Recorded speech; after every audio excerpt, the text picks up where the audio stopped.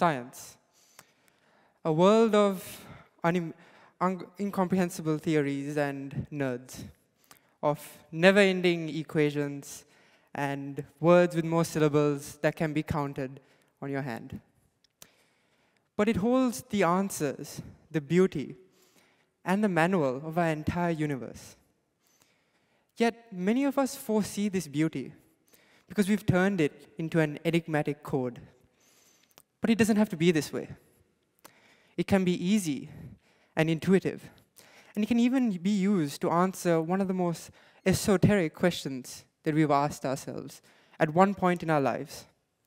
What is the meaning of life? And with a bit of science, you'll see that its answer is just as beautiful as its simplicity.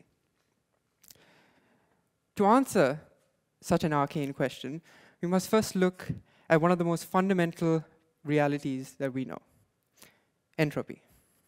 It is a theory that the entire universe as a whole moved towards disorder or a state of higher chaos. State of higher chaos. Now, it is one of the most fundamental parts of physics. It is what gives time a direction. It is what makes us exist and what makes the ice caps melt.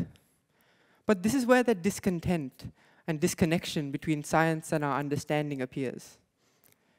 If re all reality does is move towards disorder, how did something as ordered and as beautiful as a human being come about? Think about it. From the processes we complete to the systems we have, aren't we intricately organized? What does that mean about our existence? Let's look at entropy a bit differently. The disorder in the universe as a whole has to increase, right? But what if there could be regions of lower disorder? We'll look at it from a different perspective, through a phenomenon that we experience here in Sri Lanka, cyclones. In a cyclone, you have this massive region of high, high-speed winds and disorder. But then in its center is an area of order and calm and stillness. And that's exactly how to think of entropy. And in these regions of low entropy, ordered life, like ourselves, exist. This is the work of Stephon Alexander, a theoretical physicist at Brown's University. And this principle was given a name, the anthropocentric principle. And he thought of it as little biospheres, little low entropy biospheres where life can exist through a set of biological and geological reactions. But then that raises even more questions. Why? Why would the universe go out of its way to create essentially a loophole in a fundamental law just for life to exist? What does that mean about our existence? What does it hold for us? If we are ordered, and if reality and the universe as a whole moves towards disorder, it could only mean one thing that we help in that production of disorder. Now, you don't have to go far back in time to see this connection. Look at our evolution. We were born into a planet that was simple and organized and ordered. That's before we congregated into civilizations. We dug up the limestone from the ground and turned it into the pyramids of Giza. We scar sculpted out the marble and formed the Taj Mahal. And then afterwards, we mixed sand and cement and gravel and made the Colosseum. We've taken an ordered planet and made it into so many forms of disorder.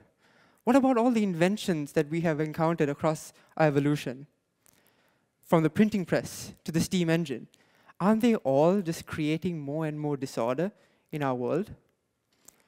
And look at civilization now. Metals that were once part of the earth are now skyscrapers.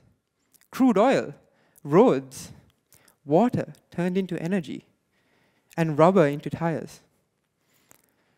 We've taken a simple simple orderedness that we were born into, and we've created it into many, many different forms of disorder.